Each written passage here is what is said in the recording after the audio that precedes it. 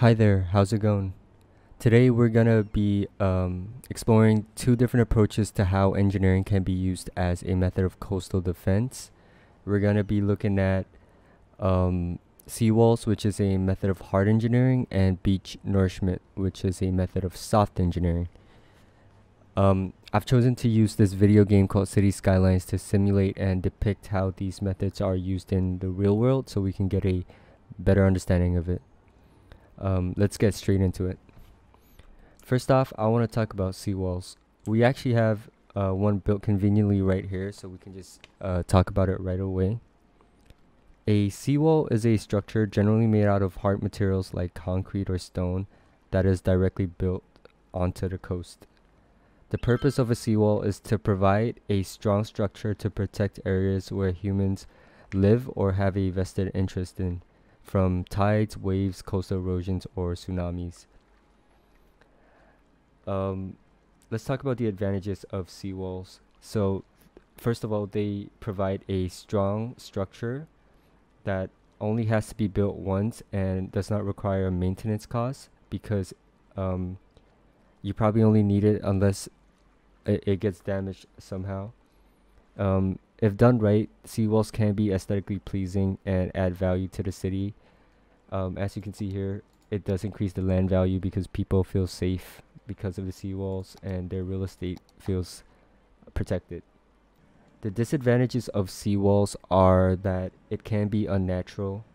Uh, it is expensive, although it only requires a one-time building. Um, it, it can be expensive for that one time. Um, another problem is that probably the main problem is that it you lose the access to the beach, which can be a huge problem because people love beaches because of their leisure um, activities. Uh, it can also harm the ecosystem because, for example, turtles need beaches to lay their eggs, but if a seawall is built, it obviously takes away that uh, habitat for animals. So, where do we see seawalls in the real world? This is Japan. And in Japan, almost half of the coastlines are covered with seawalls, and they're uh, mainly built to withstand tsunamis and stuff because Japan is really susceptible to that. But unfortunately, in 2011, although there were seawalls, Japan could not um, could not protect uh, the cities due to the uh, pure severity of the tsunamis, and many of the seawalls did fail. However, um, Japanese authorities are planning to increase their budget to 6.8 billion dollars to build better and bigger uh, seawalls that can withstand better tsunamis. So, how can seawalls be improved? And it's actually really simple. It's due to a design called a concave seawall. And let me show you the simulation right now. So here we have a simple seawall here. And as you can see, water, some water gets past and could potentially harm people who live in that tiny little house there. But here we have a concave seawall with its um top a little hooked and yeah, it does so much better against strong waves. Cool. So that's seawalls for you. Now let's talk about beach nourishment. So for that, we're going to come to the coast here.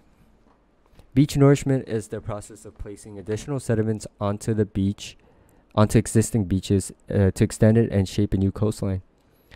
Sediments can be extracted from under the ocean or from other coastlines. So we have I have pictures here to show you. This is how beach nourishment is done. It's dumped onto the coast and people spread it out it, make it to make it even. So what does that look in the real world, or rather in the game world?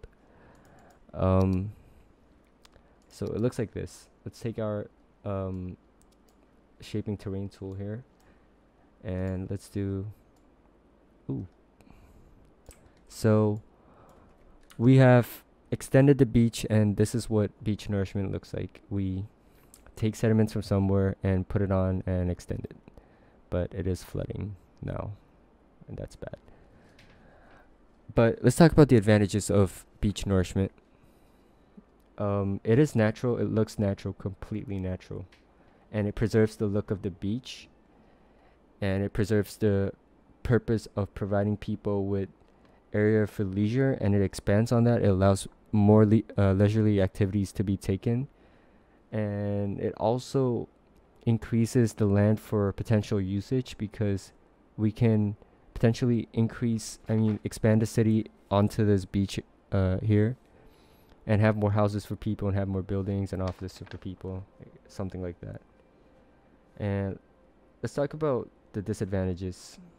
Um, in contrast to seawalls, although they cost uh, relatively expensive, like similarly expensive, um, uh, beach nourishment does require you to continually um, add sediments on because as this gets eroded, um, you need to over time you need to add more and more and more.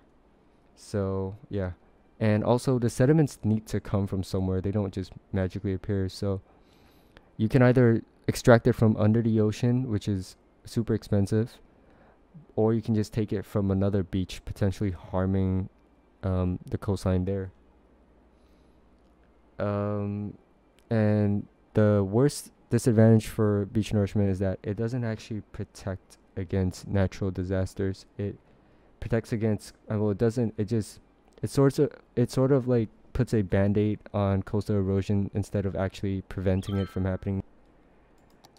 Um, and yeah, so if there was a tsunami, I think seawalls would stand a better chance than, you know, extending the beach because it's just gonna go past and kill people.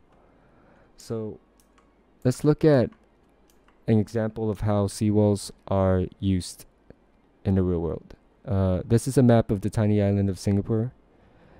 Um, in bright red and lighter red, you can see um, areas that have land that have been reclaimed, which means that they've uh, technically like extended and built land that are used today.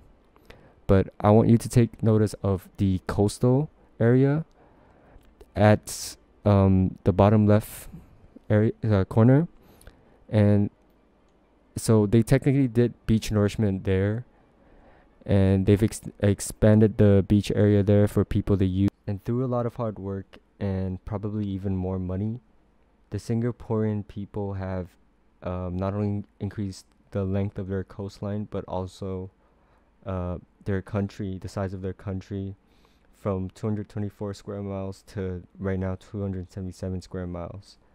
And by 2030, the government the government wants Singapore to uh, reach uh, to measure up to around 300 square miles.